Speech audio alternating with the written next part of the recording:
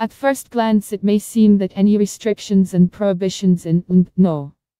At least for those whose life takes place in a plane far from politics and the local army.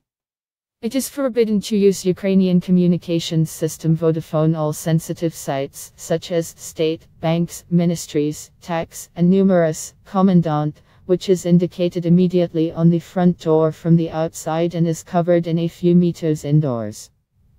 In some structures, this is the ad, rather a tribute to the local order and full of profanity, and in some places, over its performance monitoring security the SIM card of Ukrainian mobile operators should be removed at the entrance to the facility.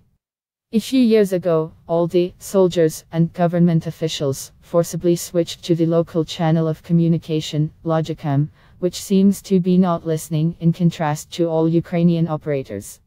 However, in all advertisements give two phone numbers, the Ukrainian operator and local, to have a connection with all the telephone users in the country. Even in 2015, it is prohibited more than hundred sites Ukrainian news portals. But if you really need some information, you can always circumvent that order, setting out the special program through which the connection with the prohibited sites is installed in, say, Bangladesh, which makes it impossible to track you. In addition, a ban on communication with representatives of the OSCE mission. This is a strange ban, which hardly anyone will tell you in voice, but not a single formal structure would give anyone of the OSCE any information without consulting with management. The answer is always almost the same ask the leadership of the official letter. When the man returns from the territory controlled by Ukraine, the Republic, and seeks to find a formal job with a degree, she's often asked why a period from 2014 to 2019 she lived in Ukraine.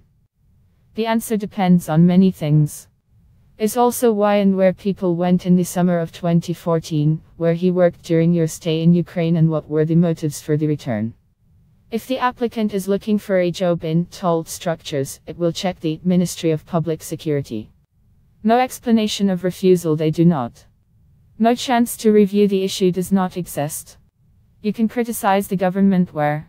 But we must remember that excessive activity may have consequences. Why political predictions, comments in social networks, store of Ukrainian literature and the like can lead to arrest on charges of subversive activities. I know many who works quite officially in Ukraine, getting paid through the Ukrainian banks or technicians and engineers who continue to work on the branches of Ukrainian enterprises in the country.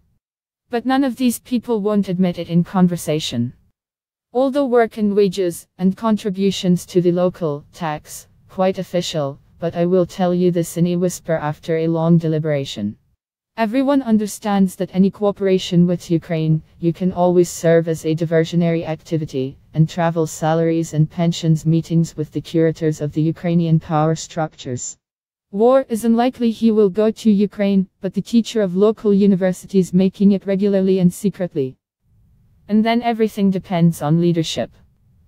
Someone will turn a blind eye and someone will find a reason to fire because all state employees in 2017 signing the order on the prohibition of leaving the territory controlled by Ukraine. All other dismissals trained colleagues at the photos in embroidery during their vacations which inadvertently uploaded to the social network are for the release after the trainings which were held in Ukraine. In general, the majority of users of social networks is very carefully to friends on both sides of the conflict. Often friends under fictitious names and foreign accounts to avoid harassment.